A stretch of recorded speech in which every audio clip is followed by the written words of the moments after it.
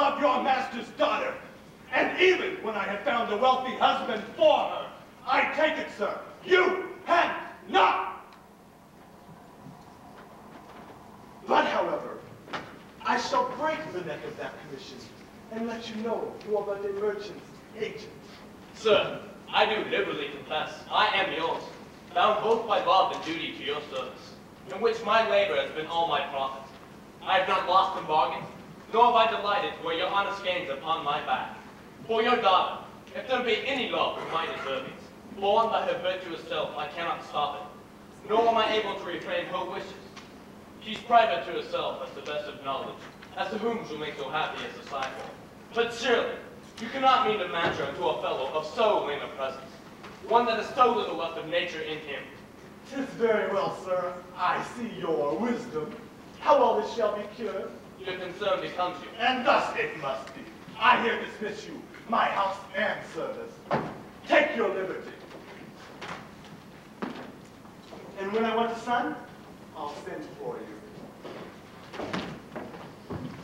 These be the fair rewards of them that love. O you that live in freedom, never prove the travail of a mind led by desire. Why, how now, friends? Struck with my father's thunder? Struck and struck dead, unless the remedy be full speed and virtue. And what I expected long, no more your father's. But mine? But yours and only yours I am. That is all I have to keep from ruin. You dare be constant still. Oh, fear me not. In this I dare be better than a woman, nor shall his anger nor his offers move me, were they both equal to a prince's power. You know of my rival? Yes, and love him dearly. Even as I love the sharp beaver of foul weather, I pray you, Jasper, fear him not. You know of the plot we both agreed on. Yes, and will perform my part exactly. I desire no more.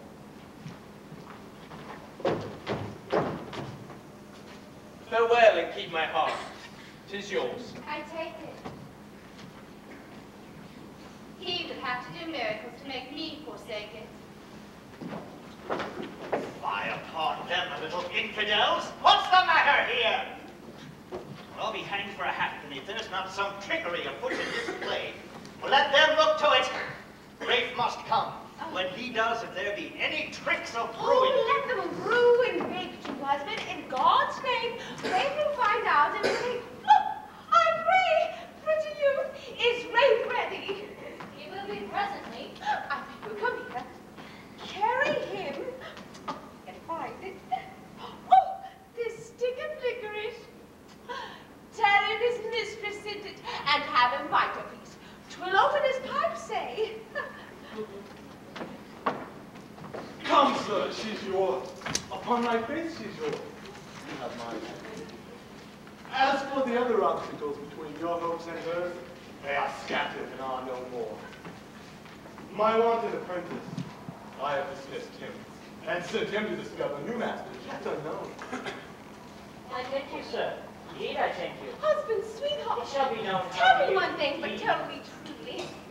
Um, stay, I ask you till I question my husband. What is it now? Oh.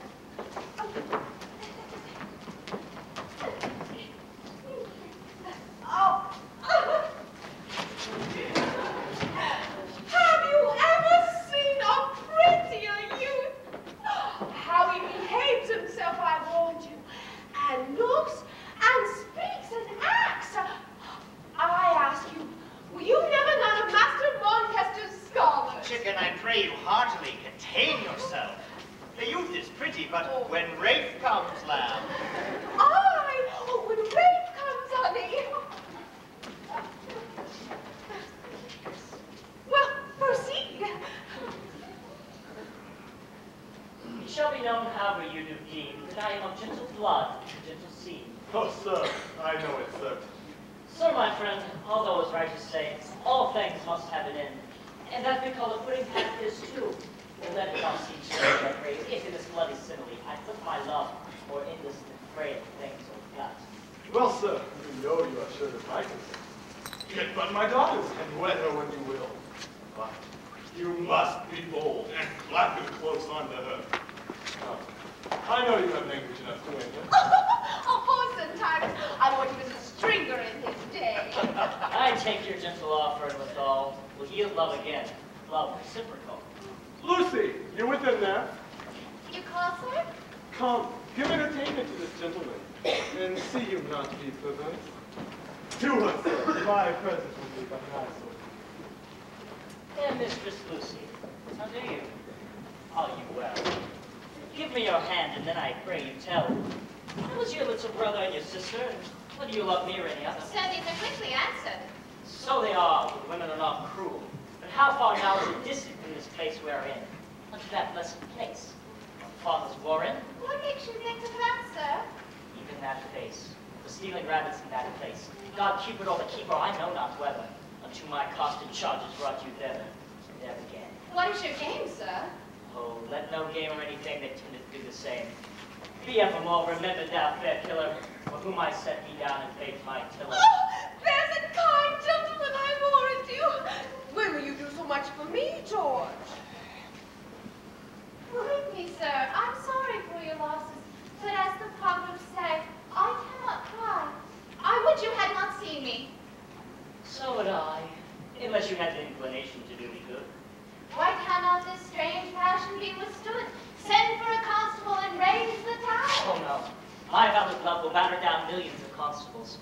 Put to flight even the great watch, midsummer's day, at night. Oh, believe me, sir, would we could, I feel that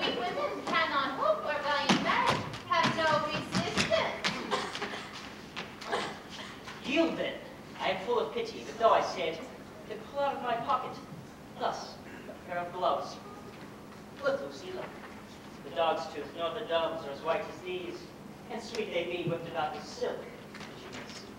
Well, sir, I take them kindly and I thank you. Uh, what would you more? Nothing. And then farewell. Nor so, nor so, poor lady. Let me tell before we part. For what we meet together, God grant me time, patience, and fair weather.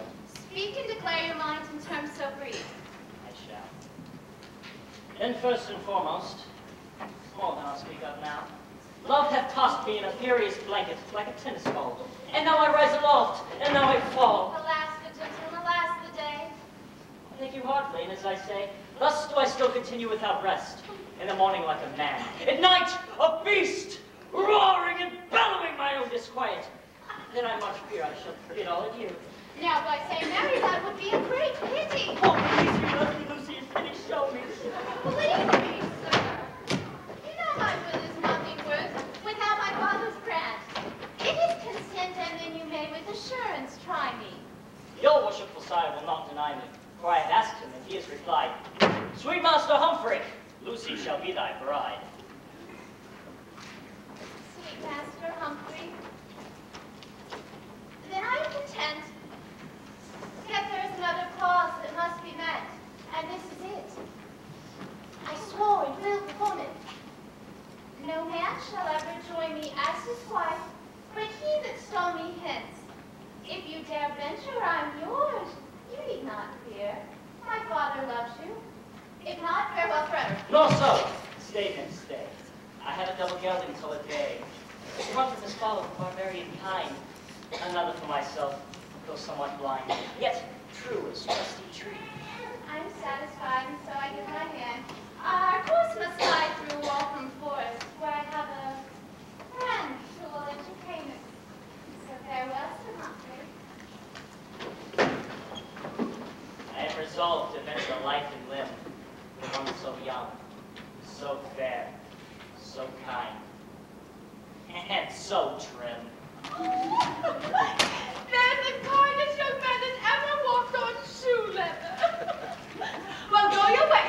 If you have me. Oh, I pray you not be patient. He shall have her. For I hope here's Rafe. Here's Rafe. Husband, there's Rafe. There's Rafe. Peace, fool, let Rafe alone. Oh, yourself too much at the first. Begin, Rick. Then Palmerin and Trineus, snatching their lances from their dwarves and clasping their helmets, galloped after the giant. Palmerin, having gotten sight of him, came aside and said, Stay, treacherous thief, for thou mayest not so carry a swayher that's worth the greatest gold in the world. And with these words, gave him a blow on the shoulder. Trineus, coming to the knight that had Agricola behind him, soon set him aside his horse with his neck broken in the fall. As so the princess, getting out of the throng between joy and grief, said, All happy knight, the mirror of all such falls arms. Now may I be well assured the love thou sparest me. I wonder why the kings do not raise an army of 14 or 1500,000 men to destroy these giants. They do much hurt to wandering damsels who go in quest of their knights. Oh, what Rick says is true, for they say that King of Portugal can eat, but the lions, giants, and the Athens and snatches me from Hold your tongue. Andre, And these knights are much to be commended, who, neglecting their possessions, wander with a squire and dwarf through the desert to relieve poor ladies. There are no well-spoken and fair courteous knights in this age. They would have called one the son of a whore that Palmerin of England would have called fair sir. And the one Trineus would have called right courteous damsel, they would have called damned bitch. I'll sworn they will, Rafe, for oh, they called me so a hundred times. But what great spirit can be content to sit alone in a shop with this blue apron and, and pestle, selling dragon's water to visited houses, that he might follow feats of arms, and through his noble achievements, procure such a heroic history to be written of his heroic prowess? Well, smoke it, Rick. Some more of those words. Why should I not then pursue this course, both for the credit of myself and our company? However, for all the worthy books of achievement, I have not yet read of a brochure errant. I will be said knight. Have you ever heard of any that have ever wandered without squire and dwarf? My apprentice Tim shall be my trusty squire, and little George, my dwarf. Hence my blue apron.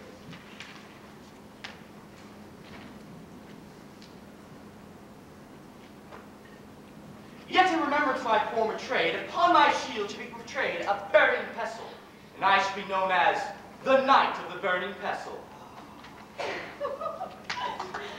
Well said, Rafe, well said. I want you to not forget your old trade. You are ever so meek. Tim, Yes? my beloved squire, and little George, my dwarf, I charge that from henceforth you never call me by any other name than the right courteous and valiant Knight of the Burning Pestle. That you never call any female by the name of woman or wench, but fair lady if she have her desires. If not, distressed damsel. That you call all horse and keys deserts, and all horses palfreys. Oh, good, Rafe. Tell me, George, do the gentlemen like Rafe? Aye, I warrant the players would give all the shoes in their shop for him. Oh, My beloved squire Tim, stand out. Admit this were a desert, and over it an errant knight came, and I should bid you inquire of his intents. What would you say? Sir, my master sent me to know where you are writing. No. This, fair sir, the right courteous and valiant knight of the burning pestle, commanded me to inquire upon what adventure you are bound, whether it's to relieve some distressed damsel, or otherwise. Blockhead cannot remember. yes, and Rafe told him once before, and all the gentlemen heard him. Did he not, gentlemen? Did Rafe not tell him?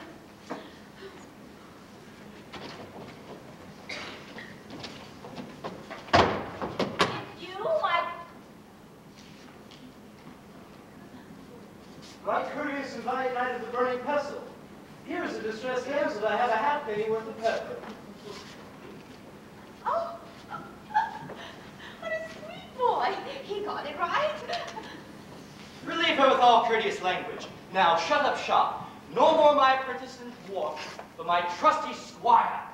Now I must bespeak my shield and army and pestle. Oh, I pray thee,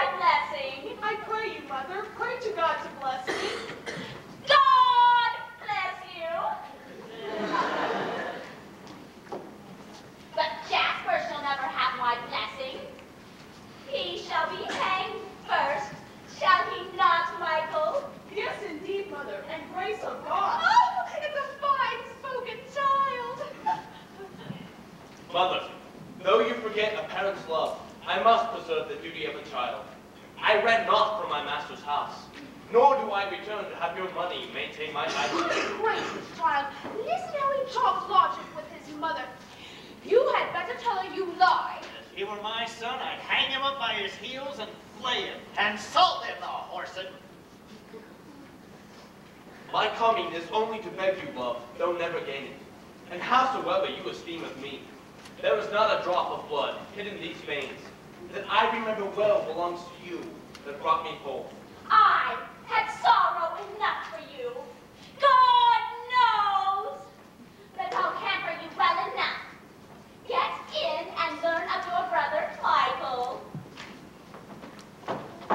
News and jolly red nose. And they gave me this jolly red nose. My husband. Listen, singing and mirth, and I love to care, and all little enough. Husband, Charles, Charles Merrythought. That makes cinnamon, and cloves. And they gave me this jolly red nose. If you would consider your state, you'd have a much smaller list to sing. It should never be considered while it were in the state if I thought it would spoil my singing. But how will you do, Charles? You are an old man and cannot work and have not left. And you eat good meat and drink good drink and laugh. And will do. But how will you come by it, Charles? How? Why, how have I done it for 40 years? I never came into my dining room but at 11 and 6 o'clock. I found excellent meat and drink on the table. Ah, ah, but uh, my clothes were never worn out, but the next morning a tailor brought me a new suit. And without question it shall be so ever. Use makes perfectness. It is but a little straining myself extraordinary and laugh myself to death. Well, what old man this is not he, George? Yes, Doug. Well, Charles, you promised to provide for Jasper, and I have laid up for Michael. I pray you pay Jasper his portion. He has come home, and he shall not have Michael's. He says his master turned him away. But I promise you truly, I think he ran away. Oh, no! Indeed, Mistress Merrythought. Oh, he is a notable rogue. I assure you, his master did but turn him away. Was in the same place was about his daughter. Oh, my husband was mine. Hang him, the rogue. He served him well enough. Love his master's daughter. On my truth, honey, if there were a thousand boys, you'd spoil them all with taking their parts. Let his mother alone. Oh, but George, yet truth is truth. Oh, Where is Jasper? He shall receive his portion. Call him in. Is he married? Aye, he is too merry. Jasper! Michael! Ah, welcome, Jasper, welcome. Even though you ran away, welcome. Tis your mother's mind you should receive your portion. God bless you. Hold your hand. You are sufficient years. Well, you've been abroad. And I hope you've learned enough to experience to a government. One, two, three, four, five, six, seven, eight, nine. There's ten shillings for you. Trust yourself into the world with that, and take some subtle divorce. And if need be, come up to me. I have twenty shillings left. Be a good husband, Jasper. That is, wear ordinary clothes. Eat the best meat, drink the best drink, and be married. Oh, and give to the poor. And believe me, you'll have no end to your goods. Father, long may you be freed from all possibility, and long may you have cause to be thus very still. No, no, no more words, Jasper. but, Father. No, Jasper. You have my blessing. Your father's spirit is upon me. Begone. Kiss me, kiss me, sweetie. My own dear jewel. Oh, how cruel. Now go No words. Get me gone too, Michael. Yes, indeed, Mother. But I'll have my father's blessing first. No, Michael. Tis no matter for his blessing. You have my blessing. Be gone. I'll fetch my money and jewels and follow you. I'll stay no longer with him. Rudy Charles, I'll be gone too. Wait, you will not. Yes, indeed I will. Oh, hey, no farewell, man. I shall never trust a wink again if I can. You shall not think when all your own is gone to stand what I have been scraping for my gold. Farewell, good woman. I expect it not. All I have to do in this world is be married, and I shall. If the ground be not taken from me, or if it be, when the earth and seas from me are reft, within the skies of love from me are left. He's for all that. Yes, honey. Listen, George, the fiddles. Surely they go finely. Sweetheart, I'll have Rafe come and do some of their scaffolds. Twould be good to see him. I pray, bid Rafe come. Peace, honey. Boy! Bid the players send Rafe! Or by God, I'll tear off their heads! Ah, this is all riffraff.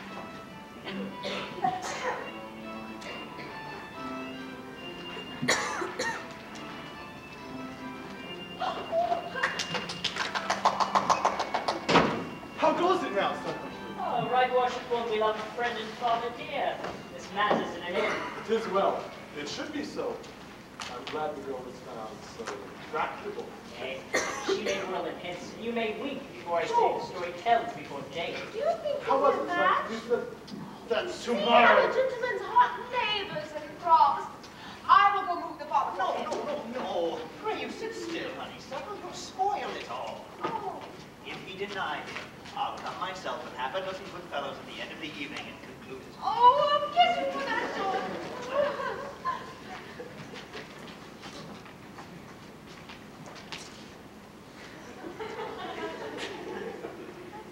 How was it, son? You said that tomorrow before daybreak you must convey her hence. I must. I must. And thus it is agreed. Your daughter rides upon a brown-based steed. I am a sorrel which I bought of Brian, the honest host of the Red Roaring Lion at Waltham situated. And then if you make the sense seemingly sort, lest by play. If you are willing and agree, then steal her when you will. If such pleasure convince you both, I'll sleep and never see it to make your joys more full. But tell me, why do you not perform your marriage here? Oh, God bless your soul, merchant. He has a George, and I'm glad. Will you not be pushed with me, George? Or if I could but see Rafe again, now we're as merry as mine host. The cause you seem to ask, I thus declare, came because of an oath your daughter sware. A foolish oath, the more 'twas the pity, but none but myself within this city shall dare to say so. And this it was she swore, never to marry, but such a one whose mighty arm could carry her bodily through the stick and stone, until we arrived at her request, some ten miles off from Waltham Forest. If that be all, you shall not need fear any denial to your love. Proceed. I'll neither follow nor repent thee. Good night. Twenty good nights. And twenty more. And twenty more good nights. That makes three score.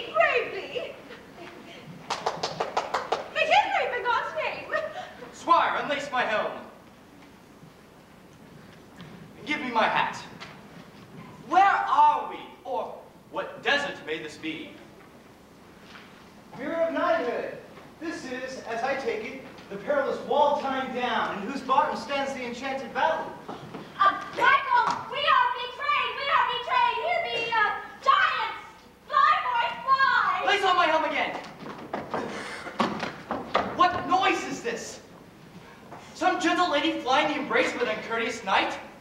I will relieve her.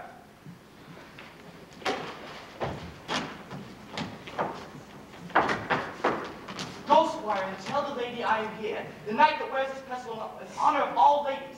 I swear revenge upon that recreant coward that dare pursue her. Go comfort her, and that tender knight that bears her company. I go, great knight. George, my trusty dwarfen friend, reach me my shield and hold it while I swear.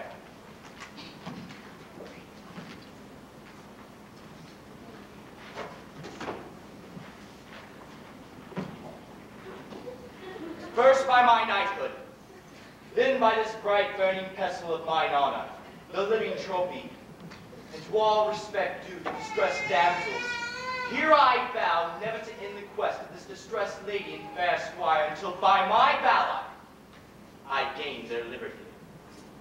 Heaven bless the knight that thus relieves poor errant gentlewoman. Oh, I think it is a five minutes.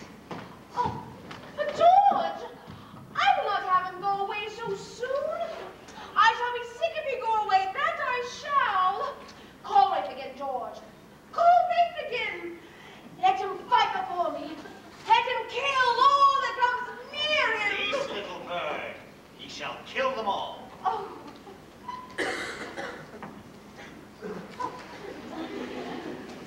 Now, fortune, if you be not only ill, show me thy better face, and bring about your desperate will, that I may climb at length and stand.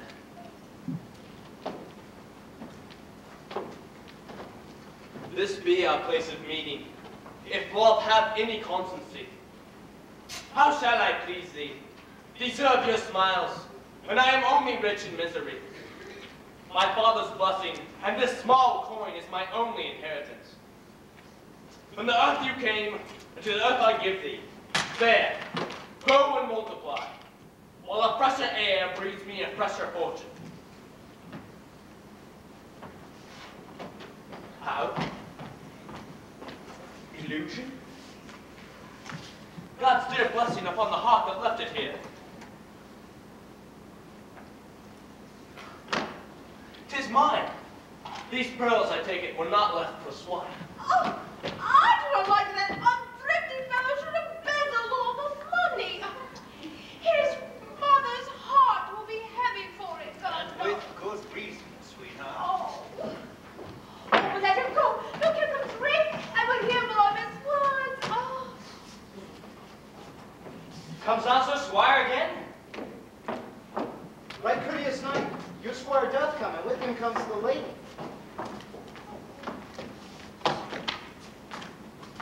oh my.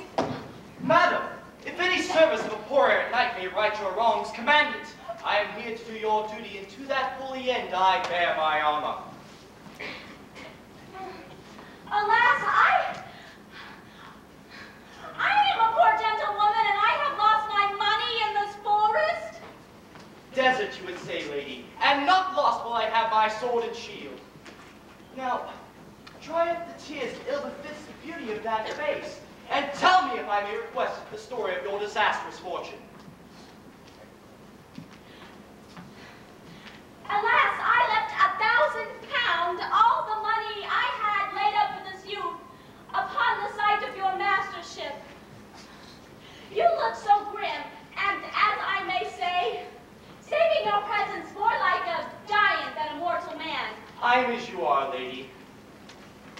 So are they, all mortal. But why weeps this gentle squire? Has he not cause to weep, do you think, when he has lost his inheritance? Young folk of valor, weep not, for I am here to confound your fallen pit, dear upon his coward head, that dares deny distressed squires and ladies' equity. I have but one horse upon which shall ride this lady fair. Good fortune shall shine upon us. Beside us, squire and dwarf do us need. Did I not tell you now what Rafe could do? Clean action and good delivery, they may all cast their caps at him. I dare say none in London can match him. I agree, Duckling. Fair Mistress Lucy, though I'm in fault for your lame horse, I welcome you to all time. Which way to go or what to say, I know not truly till it be broad day. Fear not, Master Humphrey. I am put it out to guide us through. Then up or ride or walk where you repose. Or sit, or if you will, go pluck a rose. Since you say the word, we'll sit down and take a nap. Tis better in town where we nap together, evening. For to sleep without a snatch would much grieve me. You're married, Master Humphrey. So I am, heaven ever married to my dam. Lucy! Dear friend Lucy! Oh, All mine. If this be so, you use me fine. What do you think I am? A complete fool. I'll tell your master, for I know him well. If you be so forward for to tell. Take that one, and that, and tell him so I gave And say I gave you well. Oh, what have I to do to first the payment? Pray be quiet. Go, get your nightcap to cure your beaten bones. Farewell, my little fool. I'm very sorry I cannot bear your company. Oh well, the devil's damned was never so banged in hell. This young Jasper went heavy on my conscience. Oh, I do not teach him a lesson for wronging this poor gentleman. Then I am no true woman. He'll hang at the gallows. God bless him. Oh, you're too bitter, honey. The young man may do well enough, despite all this. Oh, come here, Master Humphrey. Oh, oh, let me take a look at you. Oh, bless me. George, he has a bump on his head the size of a chicken's egg. Oh, how strong. You talk like a foolish woman. I'll have Rafe come and fight for him and beat Jasper up well. Boy! Have Rafe come in and fight with Jasper. Sir, you must pardon us. The plot of our play is contrary to this, and this could risk spoiling the play. Plot me no plot. I'll have him come in or I make your house too hot for you or anyone else. Why, sir, he shall. If anything fall out of order, the gentleman must pardon us. Bet Jasper will have his belly full of fighting now. oh, here comes Rafe.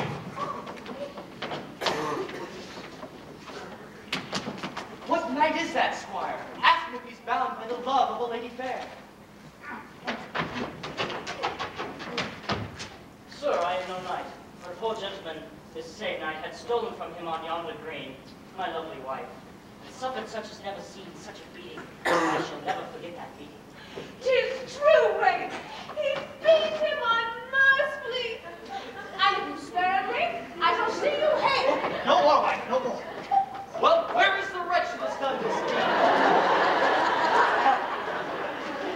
Your lady, your pardon, I may proceed upon the quest of this injured knight. Fair squire, do not think ill of me for leaving the great quest of the rich person casket till some better time. Come, my dear. I come to look that has taken my treasure! Go, squire, tell him I am here. The knight that wears this pestle in honor of all ladies. To deliver that lady to her own knight's arms. If he deny, have him choose the battle crown.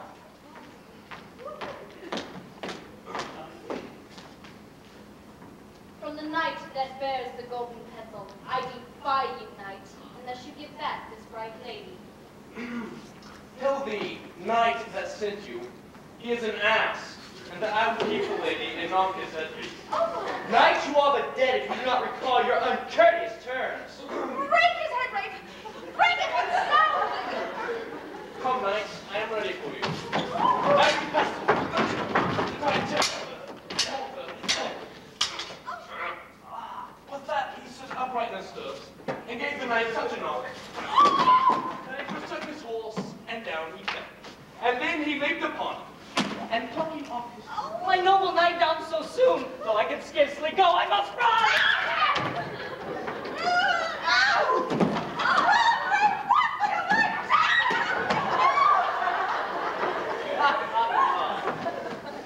Come, Lucy, we must have better arms for you. Humphrey and Golden Castle, both. Adieu. Oh! Surely the devil, God bless us, is in this young man. Have you ever seen such a finer? I'm afraid my boy was scary. No, no, no. Oh. I have found out the problem, sweetheart. Oh. Jasper is enchanted. He could no more have stood in Rafe's hands than I could stand in my Lord Mayor's. Oh. I find the cause of enchantments, and Rafe shall beat him yet. Oh, no longer upset, for it shall be so. Oh, Rafe! Oh, stay, Rafe! Oh! How are you, Rafe? Let me take a look at you. Oh! now, here's a piece of candy, and go your way. You shall have another go with him. If Rafe had him at fencing, if he did not make a puppy of him and drive him up and down, Rafe should never come in my shop again.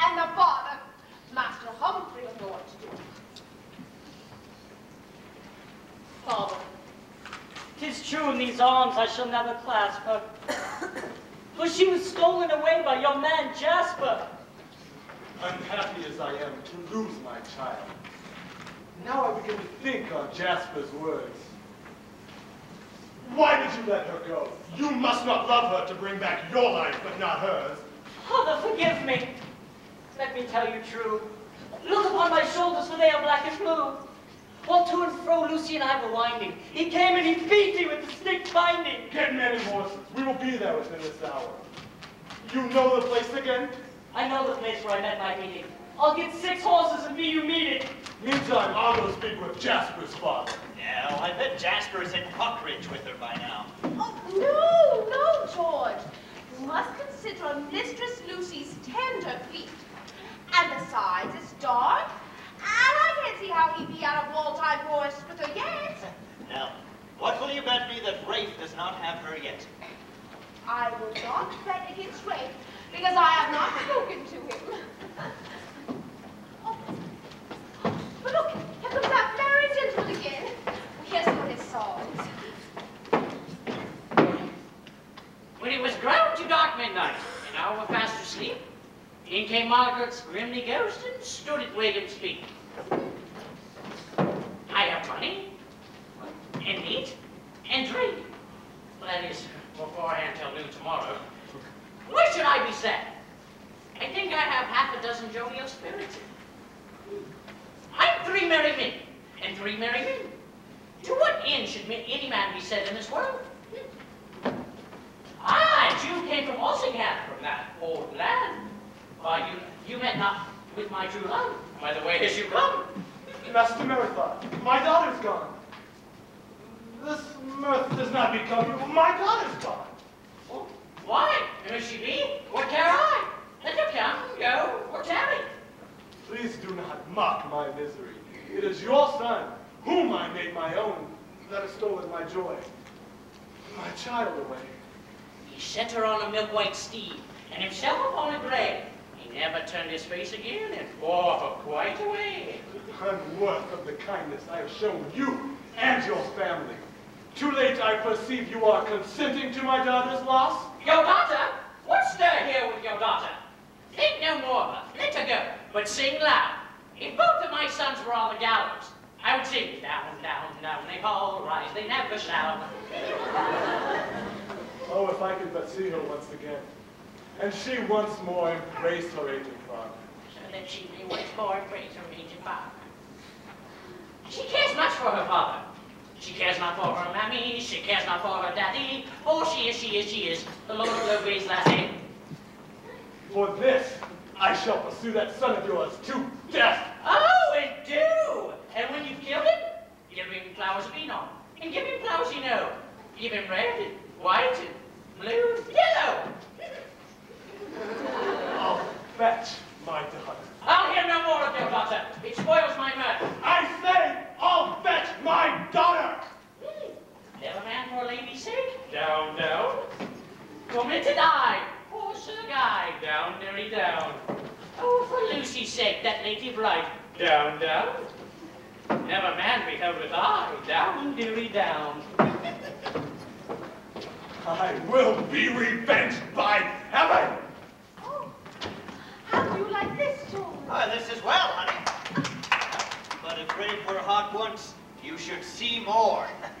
Oh, listen, George, the fiddles go again. This is scurvy music.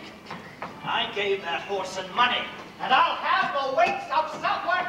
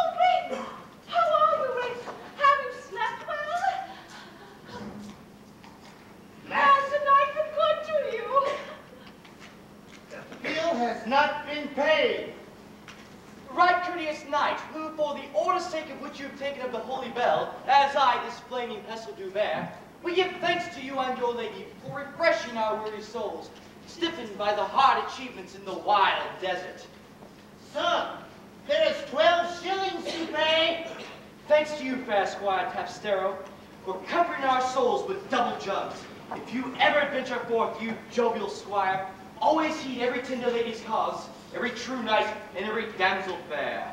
Valiant knight of the burning pestle, there is 12 shillings to pay. George, must Rafe pay the 12 shillings now? No, no. The squire is merry with Rafe. Oh, and there's nothing else. Well, then Rafe shall be as merry as he. Jovial squire, this mirth of yours becomes you well. If you wish to follow on, you may receive by my hand the knighthood by virtue of this pestle. Fair knight, I thank you for your noble offer. But, gentle knight, there is 12 shillings to pay, or I must arrest you. Look, George, I told you the Bell Squire was in earnest. Pay him his money. Arrest Rafe! Now hold your hand there, squire. Here's your money. Have you anything to say to Rafe now? Huh? Arrest Rafe. I'll have you know, Ray friends that not be arrested for ten times as much.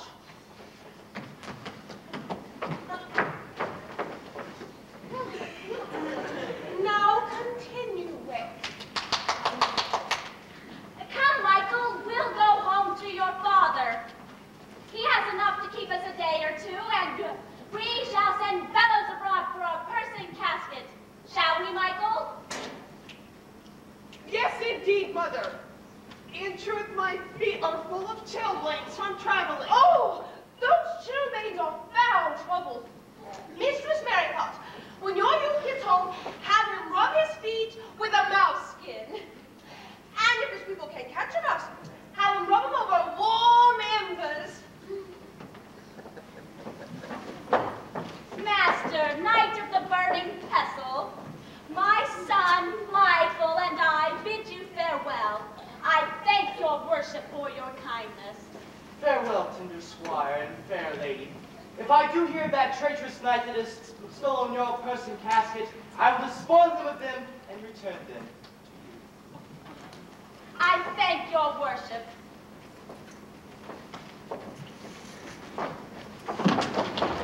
Dwarf, bear my shield.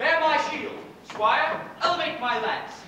Farewell, good squire of the Holy Bell. But before I go, speak if you know of any sad adventure that this knight errant made through his prowess win eternal fame and free some gentle souls. Boy,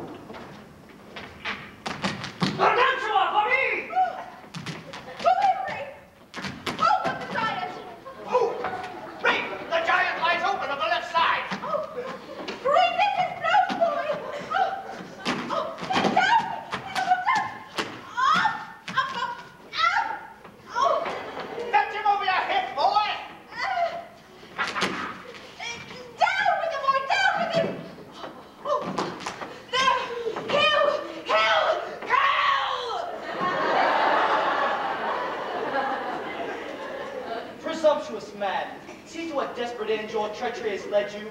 The just gods, who never prosper those who dare, dare despise them, have paid you honor by my stiff arm. Oh, listen, George. What woeful cry there is. There's a woman in there. What ghastly noise is this? Speak, Barbaroso, or by my place and steal your head goes on. The prisoners of mine. Run, Squire and Dwarf. Deliver them with speed. George, shall we not kill the giant? I would think that if he let him go, he will do more harm than he ever did. Not so, Mouse. If he could convert him. Oh. Here are these pine wretches.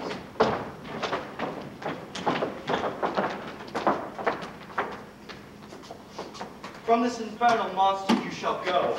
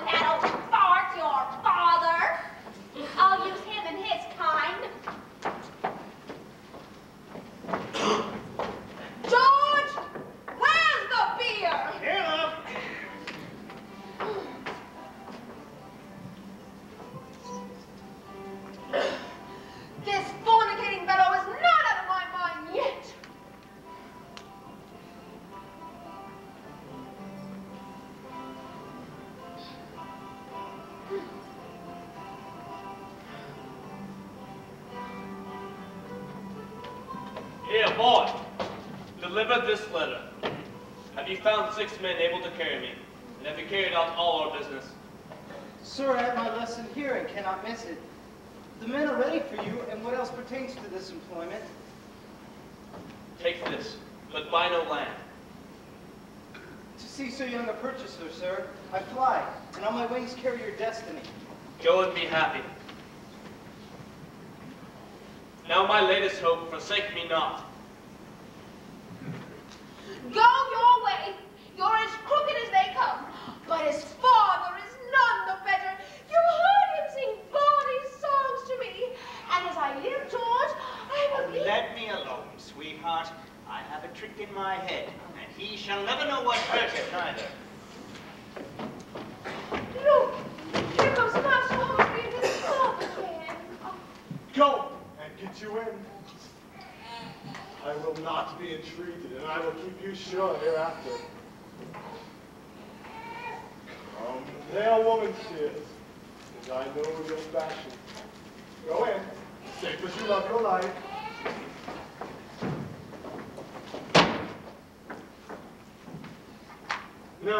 good son. You may both rest assured of my lovingness and brief your own desire. I see this love you speak of through your daughter, although the holy little, and hereafter will yield the life in all manner of canon Christian and gentleman. I do believe you, my good son, and thank you. My daughter is yours again. Appoint the time and take her. We will have no stealing for it. I and some of our friends will see you married did you sir, For it be known, I was never afraid to lie alone. Some three days hence, then. Sir, there is a gentlewoman who would like to speak with your worship. Bid her come in.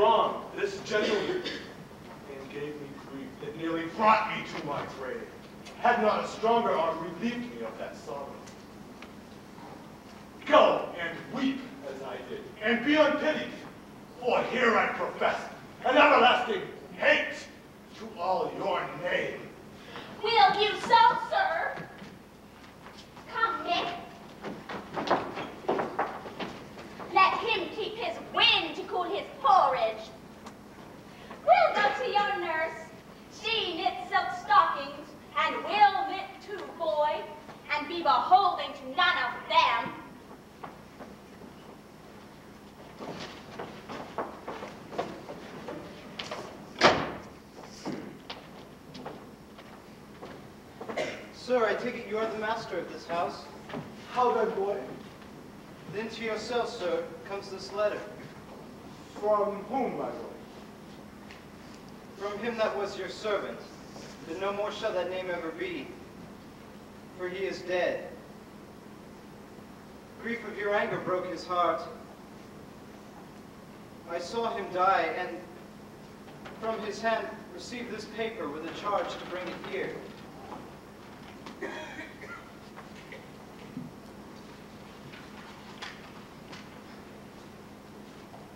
Sir, that I have wronged your love, I must confess, in which I have brought upon myself the ill opinion of my friends.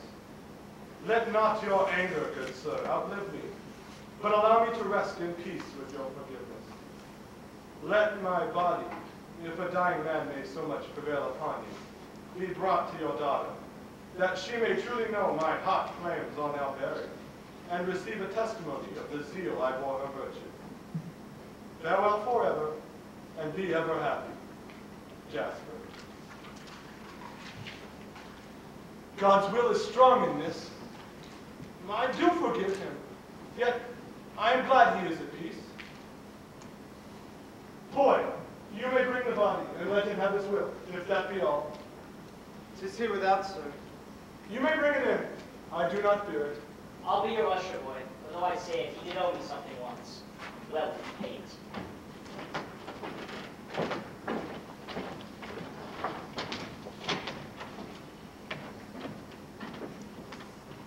If there by any punishment inflicted on miserable yet I feel, let it seize me and press down my soul.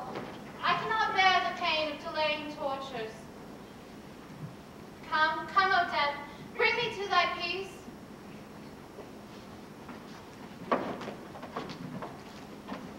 Young mistress, we have brought the coffin. For me, I hope 'tis come.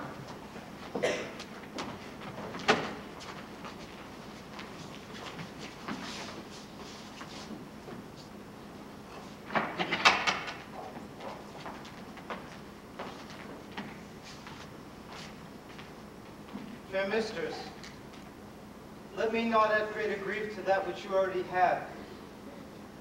Jasper, now dead and here enclosed, commanded me to bring his body here, and to crave a tear from those fair eyes.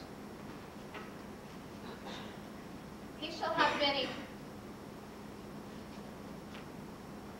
Good friend, depart while I take my leave of this dead man that I once loved.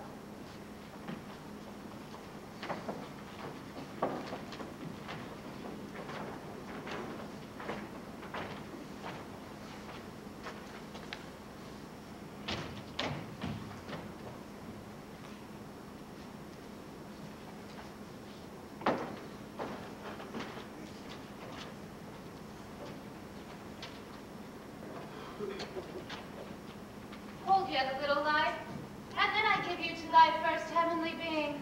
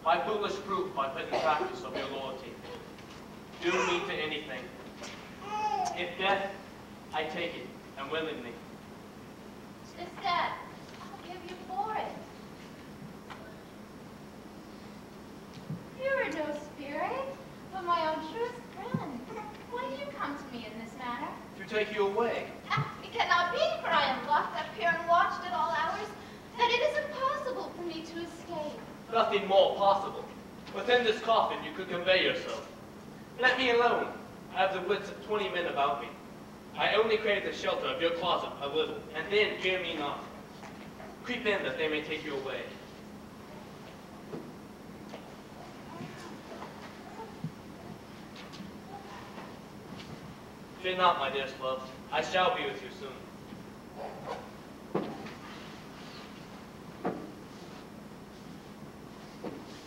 Lie quiet that all goes well. Boy! Take the coffin away and be wary. Tis done already. Now I must go.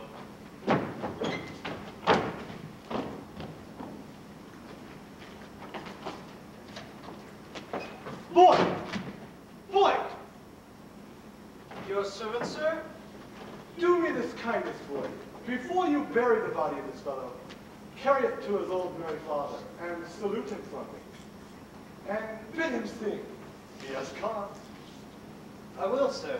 And bring me word what tune he is in. And have another crown. But do it truly. I have bidden him a bargain, will now, vex him. God bless your worship's health, sir. Convey him hence.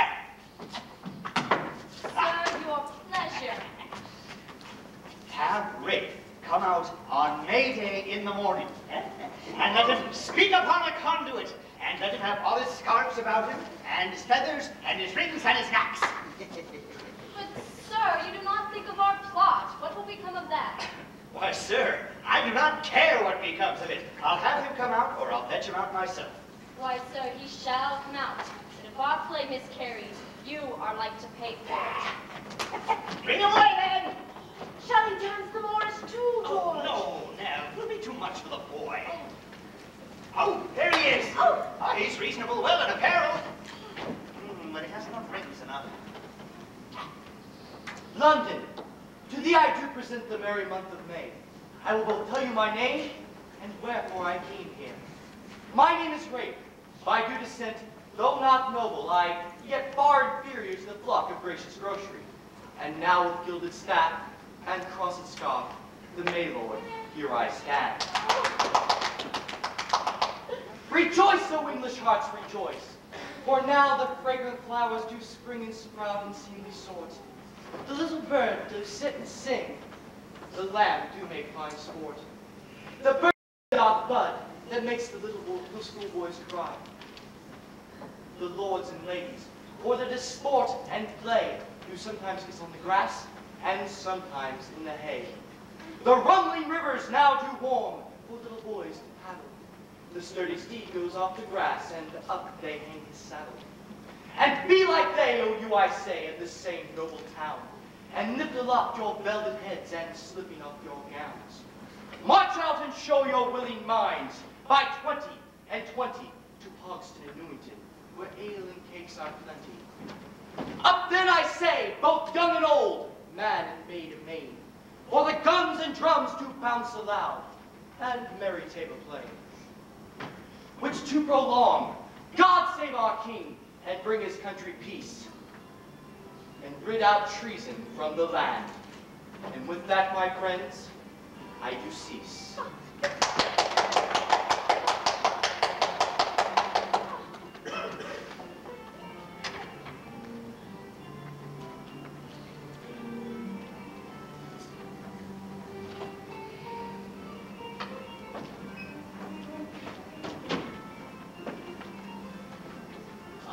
No great store of company at the wedding. A couple of neighbors and their wives. Oh, and I will have a great piece of beef stuffed with rosemary. Forbear your...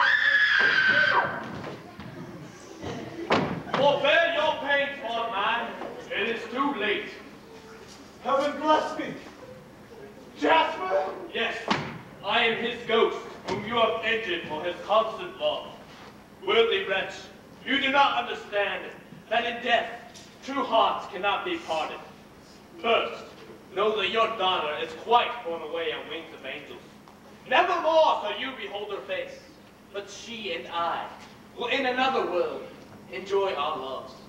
For neither father's anger, nor poverty, nor any cross that troubles earthly men shall ever make us sever our united hearts. And never shall you sit alone, that I will not visit you with ghastly looks, and put into your mind the great offenses which you did to me. And when you are at the table with friends, in the midst of all your pride and mirth, I shall come, invisible to all men but yourself, and whisper into your ear such a sad tale, that you shall let the cup fall from your hand, and stand as pale and mute as death itself. Forgive me, Jasper. What might I do? Tell me, to satisfy your troubled ghost. There is no means. You think of this too late. But tell me, what were it best for me to do? Repent your deeds, and satisfy my father, and beat Von Humphrey from your door. Oh, George, his very ghost ran folks beaten. Oh. Father, my bride is gone. Fair Mistress Lucy, my soul is the fount of vengeance. Mischief's loose.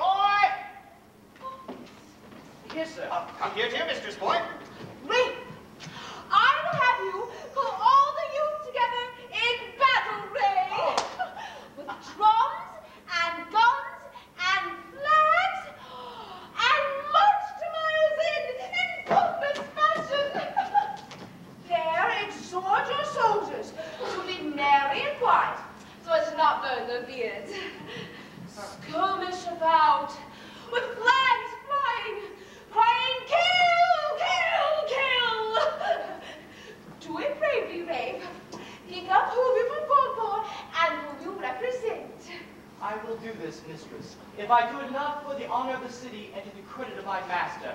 May I never hope for freedom. Oh.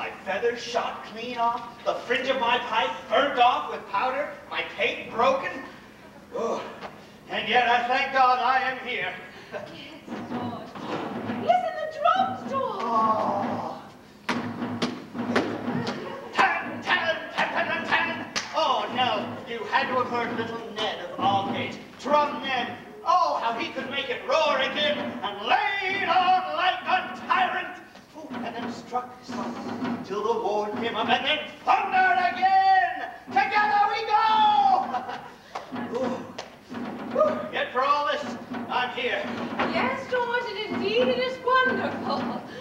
Oh. Oh.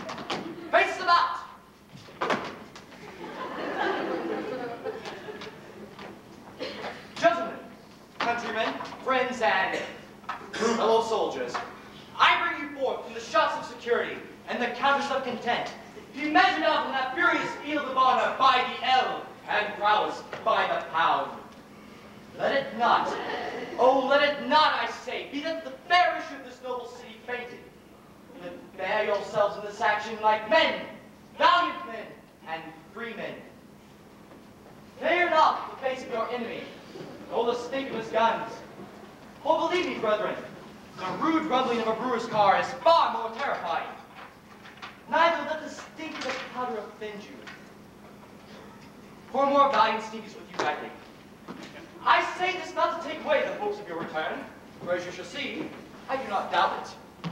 But very shortly, your loving wives and children whose care you bear, remember whose cause you have in hand,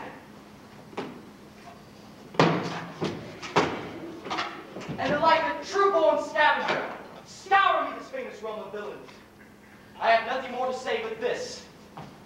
Stab your attack with the and show the world you can as well brandish a sword as shake an apron. St. George and on my hearts! St. George! St. George! St. George!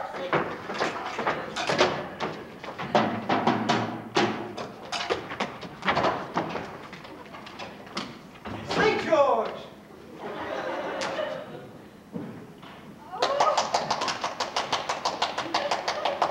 Well done, Rafe! I'll send you a bottle of March beer, and it may be come join you myself. Now, the boy has deceived me. I did not think he had it in him. He has performed such a matter that if I live, I swear, next year I'll have him captain of the barge.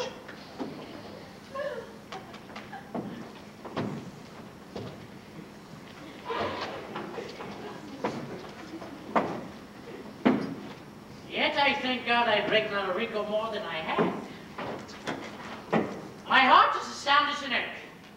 And though I want drink to wet my whistle, I can sing. Come no more there, boys, come no more there. For we shall never, as while we live, come any more there.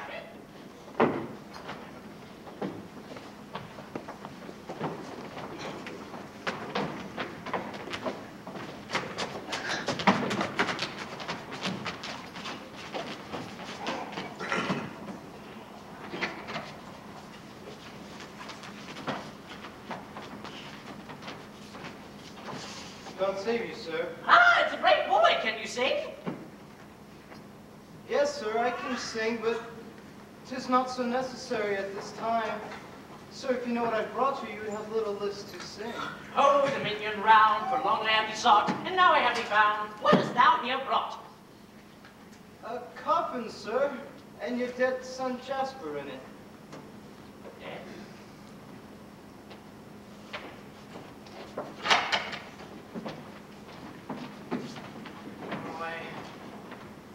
Farewell he. Though he was boy, and I did love him. Then I pray you, sir, do so still. Jasper's ghost? By my troth, sir, I am not a ghost, and I never was. Oh, a merry ghost, a very merry ghost. And where's your true love? Look to, sir. Ah, ha, ha! Are you good at that? My master Merrythought, will you not let us in? What do you think shall become of us? What voice is this that calls at our door? You know me well enough. I am sure I have not been such a stranger to you. You will not have a star here, will you, Master Merrythought? No, I pray you, sir. She is my mother. If her offenses have been great against you, let your own love remember that she is yours, and thus forgive her. Good Master Merrythought, let me entreat you. I will not be denied. Why, Master Merrythought, you will not be angry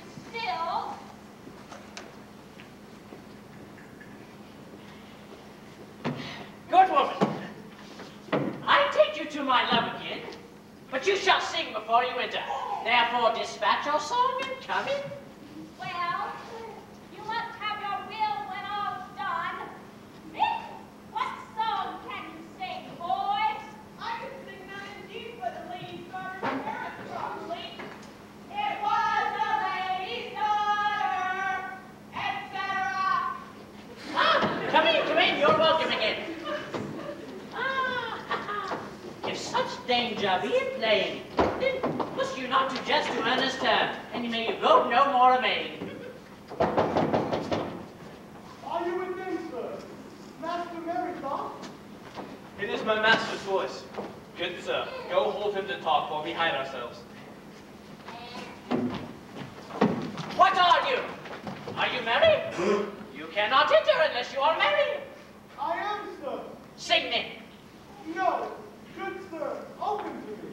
Sing, I say, by the marry you, you cannot come in. Well, sir, I'll sing. Fortune, my foe, why dost thou frown on me, etc.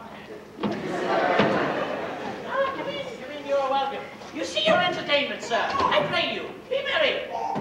Master Merrythought, I am here to ask forgiveness for the wrongs I have placed upon you and your son. They are infinite, yet my contrition shall be more than they. I do confess, my hardness broke his heart, for which heaven has given me punishment more than my age can carry. His wandering spirit follows me everywhere, crying, I shall haunt you for your cruelty. My daughter, she is gone. I know not how, taken invisibly. And whether living or in the grave, I do not know. Master Merrythought, these are the ways that will sink me to my grave. Forgive me, sir. Sir, I do forgive you. And I pray you, be merry. But the boy who played the knave, can you forgive him too? With all my heart, sir. Speak it again and heartedly. I do, sir. Now, by my soul, I do. If you forgive them, sir, then clasp their hands together. I do. I do. Well, then there is nothing left to be said in this matter. Ah. And now that we are all kind, I do not like this at all. Hear me, one of you. Everyone's part has come to an end except Rafe's, and he's left out. Tis wrong of yourself, sir. We have nothing to do with his part. Come away, Rafe. Now make of him as you have done with the rest. Oh, husband, no, let him come out and die. Oh, so he shall. Rafe, come quickly and die, boy. It will be very unfit if he should die, sir. I mean, on no occasion, in a comedy too. Take you no care of that. Is not his part at an end, think you, when he is dead? Come away, Rafe.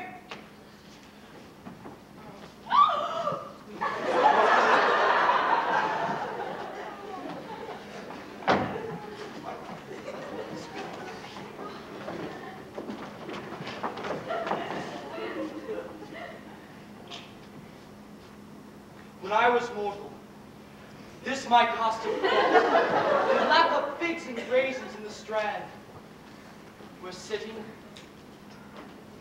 I spied a lovely dame, whose master wrought with lingle and with awe, and underground he bade me many a boot.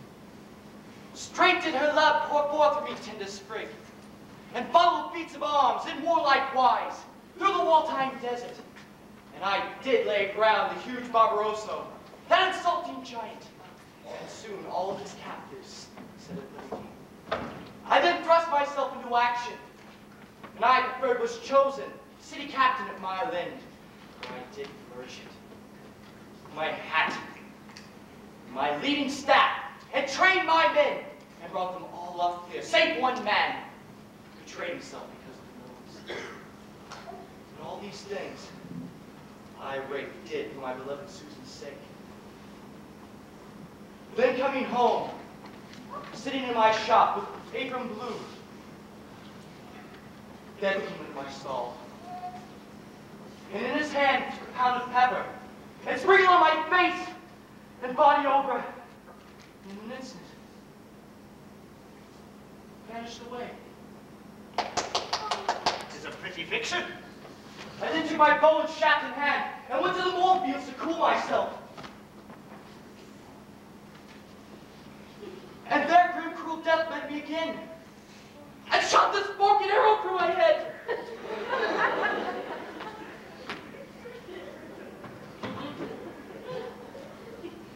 and now I faint.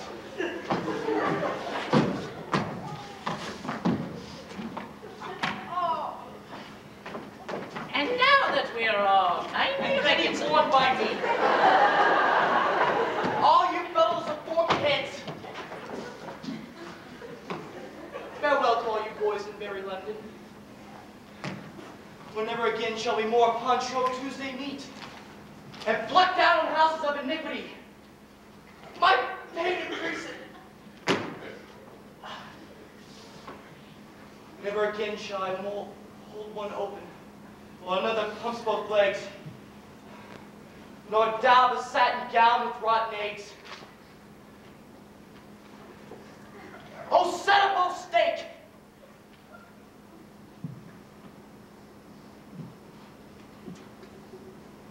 And now I die.